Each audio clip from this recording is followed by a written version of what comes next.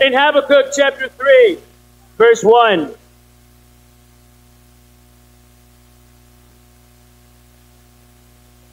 The Bible reads, Lord, I have heard of your fame. I stand in awe of your deeds, Lord. Repeat them in our day. In our time, make them known. In wrath, remember mercy. The title of our lesson this morning is very simply Stand in Awe. And yet, it's probably the opposite of what you think it means. I mean, after all, the background is a beautiful scenery of the sky. But in reality, this scripture is written at a time when God told the prophet Habakkuk that he was going to bring the Babylonians to destroy Israel. And so the standing in awe is not a scripture that is intended to create peace and tranquility on the outside, but rather peace, tranquility, the fruit of the Spirit on the inside, even in the midst of God's wrath, trials, and difficulties. You see, the truth is, standing on the mountain after God has blessed you, that's easy. It's standing in awe in the darkest time when the darkness compresses in on you, the lightning blinds your eyes, the thunder deafens your ears, when the rain is pouring on you, when doom seems to await you, this is the moment to stand in awe. Let's turn to Matthew chapter 14 and study out a man who stood and then later was filled with awe. In Jesus' ministry, we find an interesting time where Peter, the leader of the apostles, walked on water. And yet the context of that scripture is that Jesus sends out the apostles to preach two by two. And they have an incredibly successful missionary journey. They come back filled with joy at the success that God had given them. And yet, all the while, Jesus had to face the beheading of his cousin John the Baptist. And so the apostles come back standing in awe because of victory. Jesus has to make a decision to stand in awe because of reverence. And so they come back, and Jesus says, You know what, guys, let's just get out of here. I just want to get some time. Let's go get Buffalo Wild Wings. Let's just go get some sisig. I want. I just, let's go get bulalo sa Tagaytay. And so they go. And while they're getting ready to go, the Bible teaches that a massive multitude of people come to them. And Jesus takes the entire day. He teaches them. He heals them. He ministers to their souls. And afterward, the apostles are tired. Jesus is tired. And the apostles are ready for their rest. And yet Jesus says, we got to feast each other. We can't meet one need and then tell them to go figure the rest out on their own. They're not even going to make it home. And the apostles have a moment of crisis. You would think at this point they would know that Jesus deals with the impossible. They go, eight months' wages could not feed this many people. I believe they had the money. They just didn't think it was worth the money. And so Jesus says, work with what you have. And they bring to him just a few loaves of bread, a few fish, and the Bible teaches that he multiplies it, and that day they feed 5,000 men. And not just men, 5,000 family heads. So they fed the women, the children, likely 10,000 plus people were fed that day. And yet they came into this situation from very different places. Jesus was overwhelmed with sorrow. The apostles were overwhelmed with excitement. It doesn't matter how you enter into the challenge. It's how you choose to conduct yourself once you are there. And so after the people are fed, the Bible says that Jesus has to tell the apostles to go away while he dismissed. So they get into a boat and they start to cross the other side of the lake. Jesus goes up to pray. See, you're not going to find rest for, for your soul in any other place than in prayer. And the Bible teaches that after being up there all night, Jesus looks down and sees the apostles after hours of rowing in the boat in a storm, not getting. You may have plans to get somewhere, but only until God allows you to will you get there. And so Jesus comes down, and this is where we pick up the story. This is the context of the story. Verse 22, it says, Immediately Jesus made his disciples get into a boat and go ahead of them onto the other side while he dismissed the crowd. We just talked about After he dismissed them, he went up to the mountainside by himself to pray. Later that night, he was there alone, and the boat was already a considerable distance from land, buffeted by the waves because the wind was against it. Shortly before dawn, Jesus went out to them walking on the lake. When the disciples saw him walking on the lake, they were terrified. It's a ghost, they said, and cried out in fear. But Jesus immediately said to them, Take courage! There's an explanation for it right there. It is I. Don't be afraid. Lord, if it is you, Peter replied, tell me to come to you on the water. Come, he said. Then Peter got down out of the boat, walked on the water, and came for Jesus. But when he saw the wind, he was afraid and beginning to sink. He cried out, Lord, save me! Immediately, Jesus reached out his hand and caught him. He was thinking back. You have faith. Why? He died. And when they climbed into the boat, the wind died down. Then those who were in the boat worshipped him, saying, Truly, you are the Son of God. Point number one stand in the storm.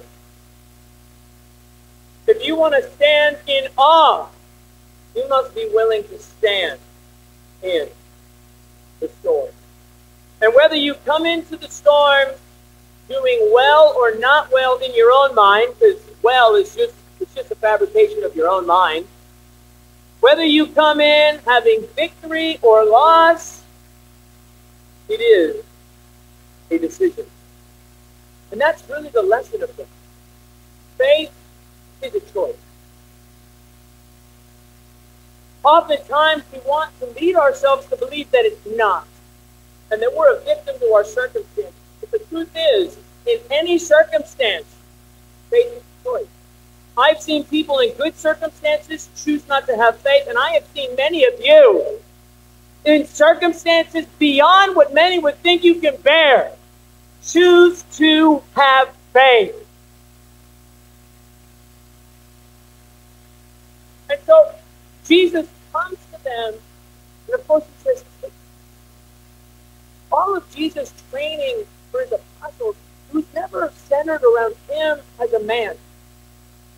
It was centered around him as what he represented. And that was to have faith in God.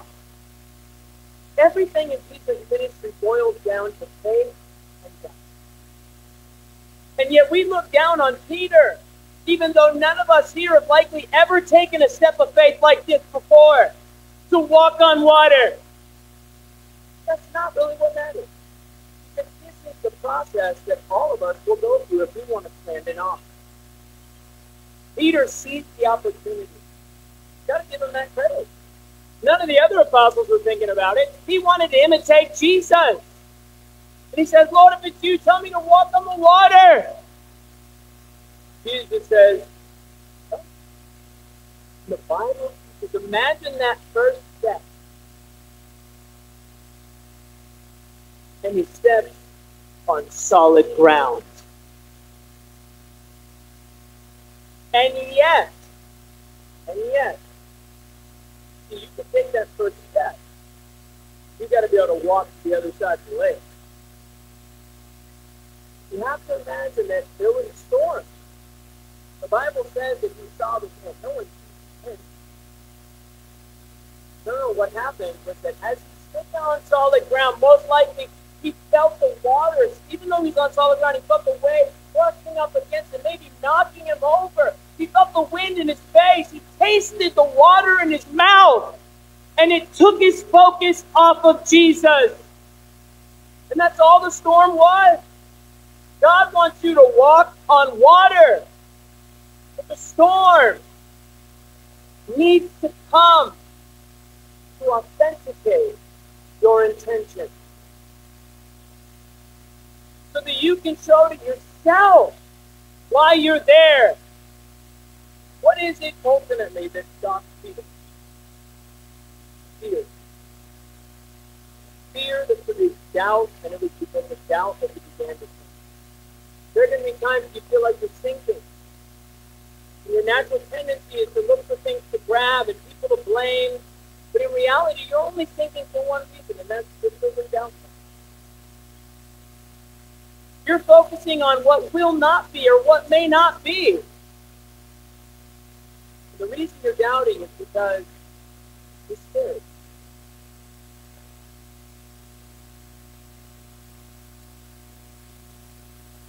The video in your head changes. You can't see what happens next. That scares you. And yet it's in that moment that you have a choice to make. Will you freeze of fear? Or will you be sure of what you hope for and certain of what you do not see? See, this is what the ancients were commended for. You don't think Abraham was afraid to leave his own town? You don't think Abraham was confused in being told to sacrifice his only son? You don't think Joshua was confused when he was defeated by Ai? You don't think these men had to face the same trials and challenges that you do? But there really is only one difference between a man who stays in step with the Spirit and the one who departs from the Spirit. And that is the one who chooses to have faith rather than in his way to fear. You see this all the time when we study the Bible, speak about. Two people stand and they one of them becomes a disciple, the other. Only one One of them is faithful. They focus on God. The other one is taken out by the distraction, by all of of. And one of them makes it, the other doesn't. It's not an issue of IQ, it's not an issue of circumstance. It is very simply and crucial God is looking for faith inside of you. And you don't have to jump a certain height. You don't need to read a certain number of chapters. It is a decision that any one of us, regardless of all situations and backgrounds, any one of you make that choice. You want to stand in awe? You have to be willing to stand in the storm. You know, one of the brothers that I appreciate love so much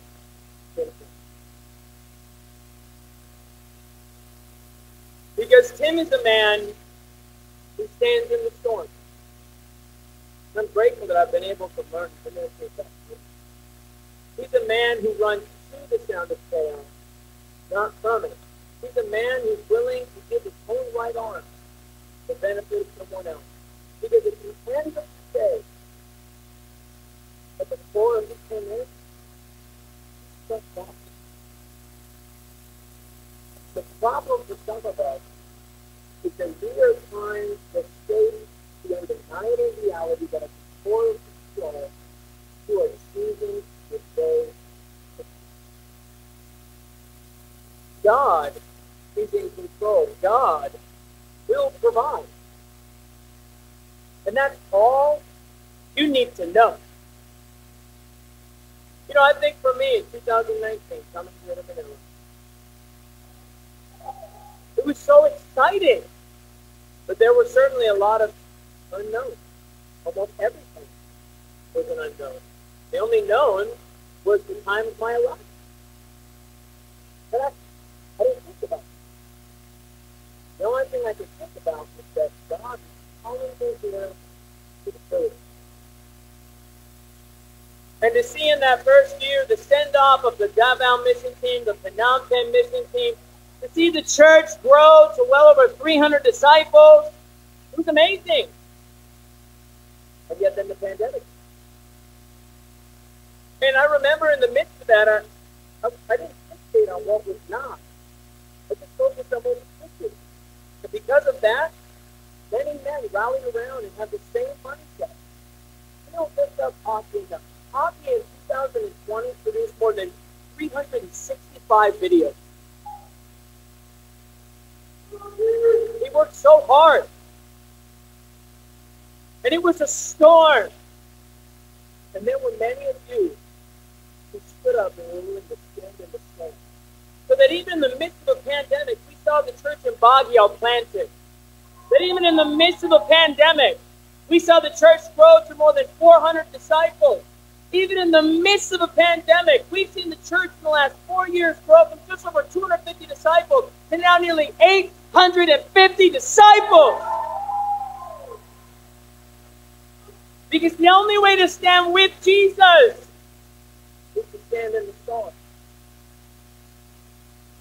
And yet, you do this when you understand where the storm comes from. Turn to John chapter 3. In John chapter 3, Nicodemus, we know Nicodemus, we know Nicodemus.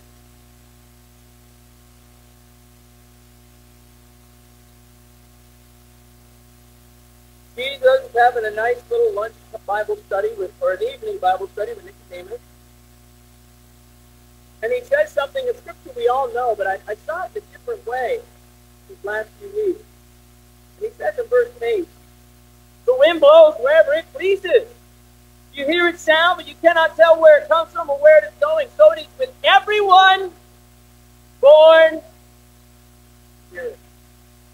How can this be, Nicodemus asked? You are Israel's teacher. And you do not understand these things?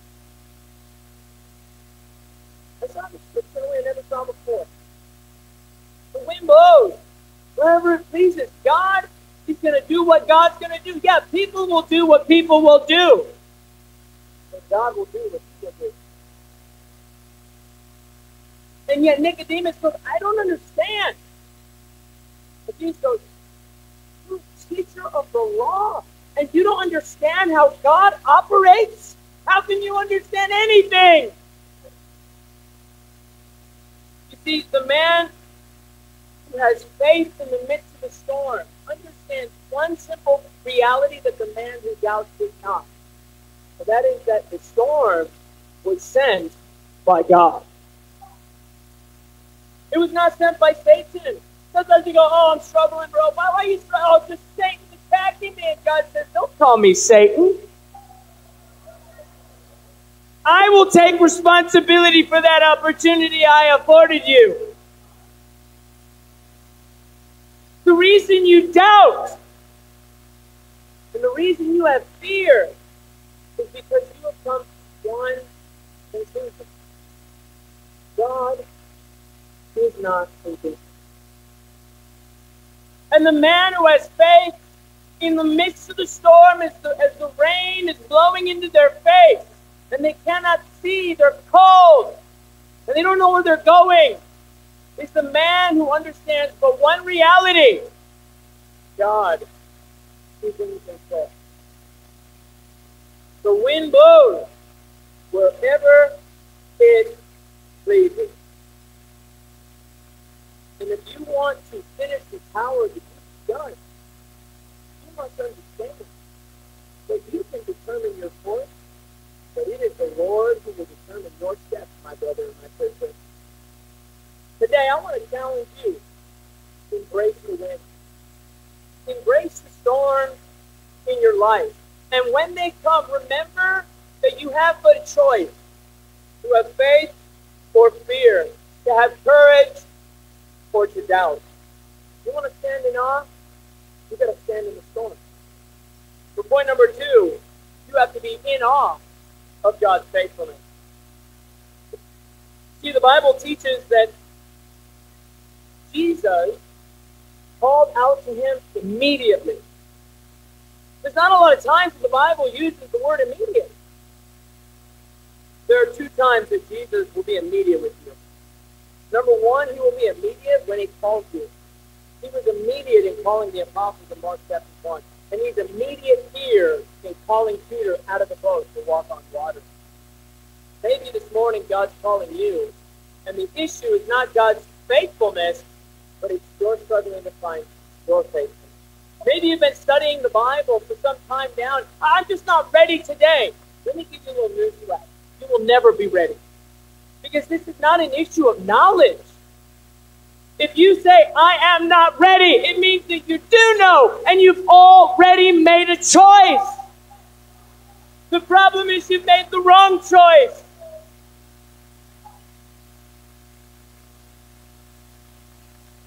And yet, Jesus is to call us. God is calling you right now. Yes, to stand in the storm and to walk on water, to do things beyond what you thought. You know, I thought of Ephesians 3.20. God has given for many more than all we ask or imagine. We oftentimes go, okay, this is my goal, and God can do even more. That's not what it's saying. It's saying you determine the course, He determines the steps. You can't conceive how he will do it. You think four weeks ago I thought I would be moving to India? You think five years ago I thought I'd be moving to the Philippines? That's the imagination he's talking about. God says, Your story's boring. I want to spice it up.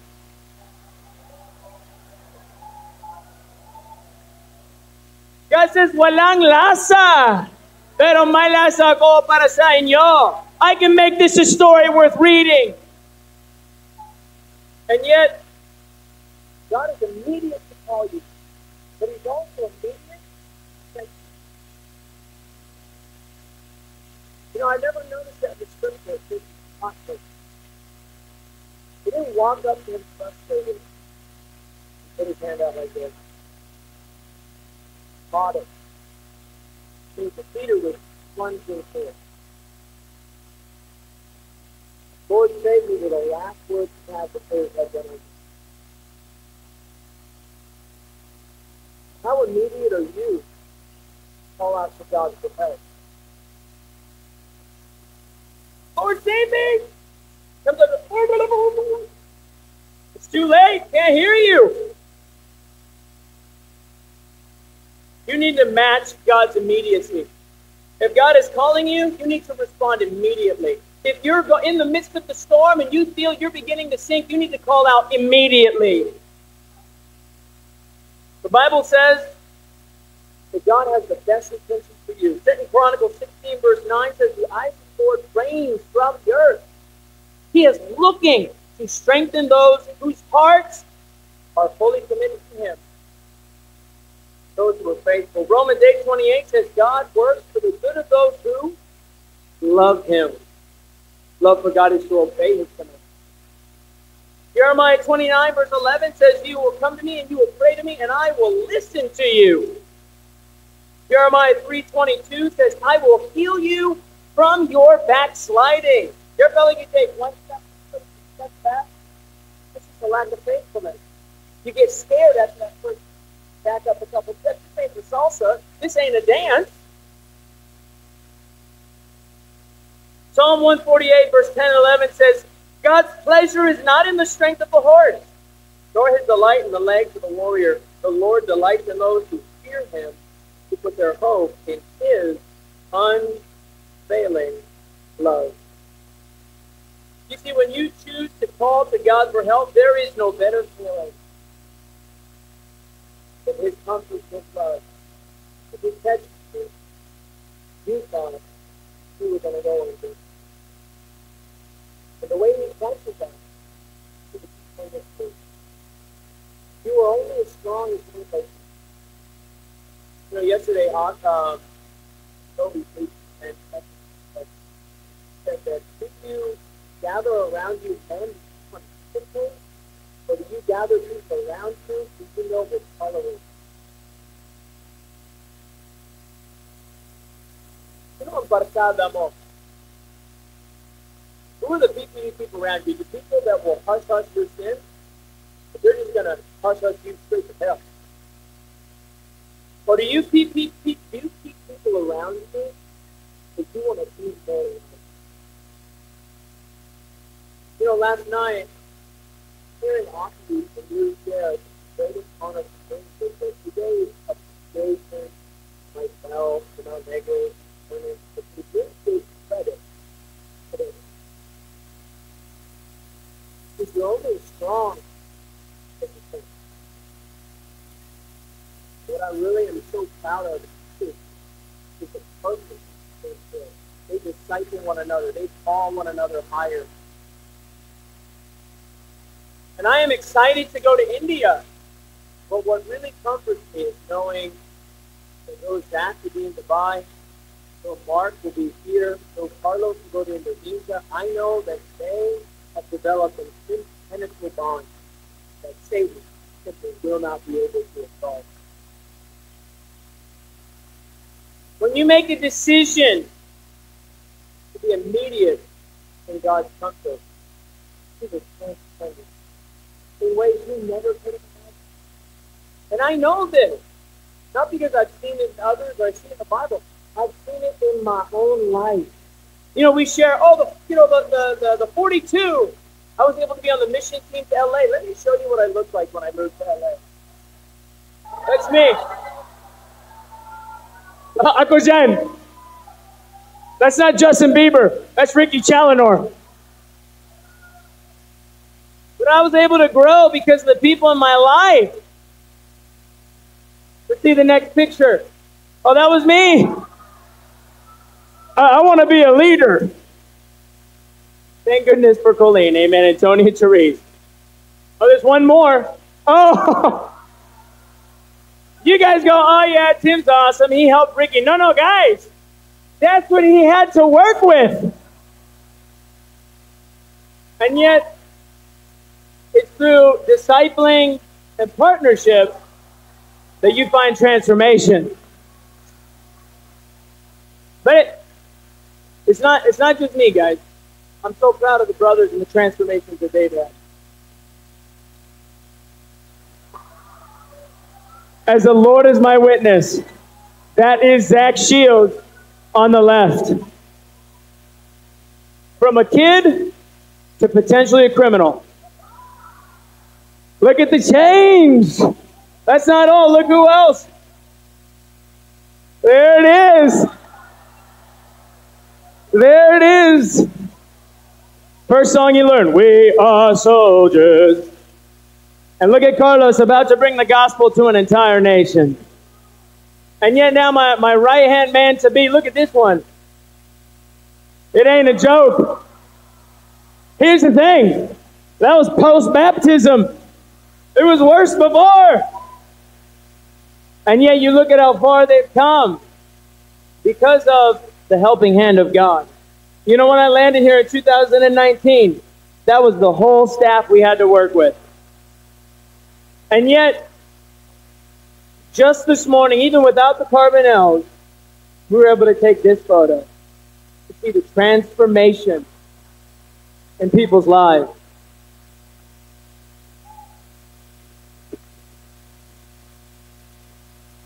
You see, God has a plan for you. There's a plan for you. And yet, I want to challenge us. That plan comes into reality when you take your relationship with God higher and to deeper levels. You got to make a decision today. I will transform so that I won't die in the storm.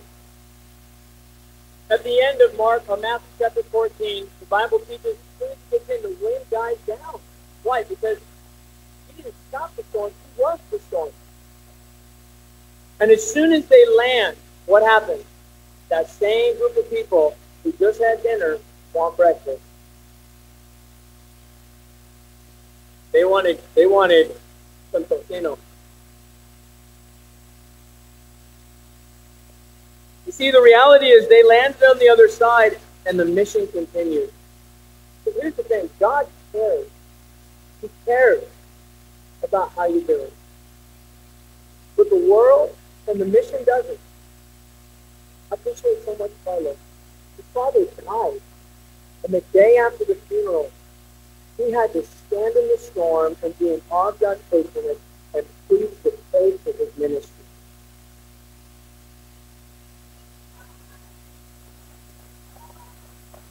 But let me say it again. God cares how you're doing. Hey. First Thessalonians 5.20 says God's will for your you to be joyful. That's what he wants. He wants you to have life to the full. God cares so much. He sent his son to die on the cross for your sins. But don't think for a, a second that that means that the world cares. Don't think that that means that your ministry is going to care. Because there will always be a need.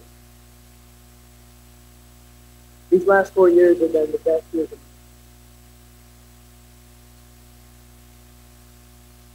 And I love each and every one of you so much. I'm so proud of you. And I'm honored to have been a part of your story. But the story goes on. And it's a story where you must decide to stand in the story. It is a story that you must decide to be in awe of God's faithfulness. It is a story in which you will choose to stand in awe. Brothers and sisters, just know that forever our fault. And no, mamimiss ko kayo. But never forget, brothers and sisters, mahal ko kayo. To God be the glory.